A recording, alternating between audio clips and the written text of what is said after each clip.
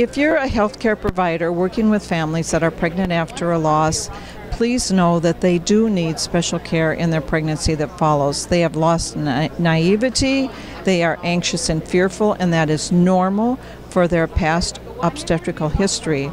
Uh, one of the things that I have focused on in my 30 plus years in working with these families that I've learned from them is their need to still honor the baby who died while embracing and attaching to the baby that follows.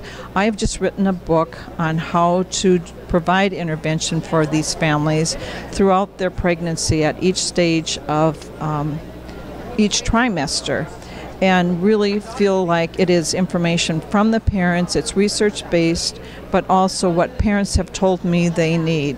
So there are case studies at the end of each chapter. There's also a chapter on loss in multifetal pregnancy, which is another huge issue for parents to be carrying a baby who has died and a baby that they are going to birth at um, when the pregnancy ends. They will also need special help with birth preparation and um, to understand that it is okay to grieve for one baby while attaching to the baby that follows. Thank you.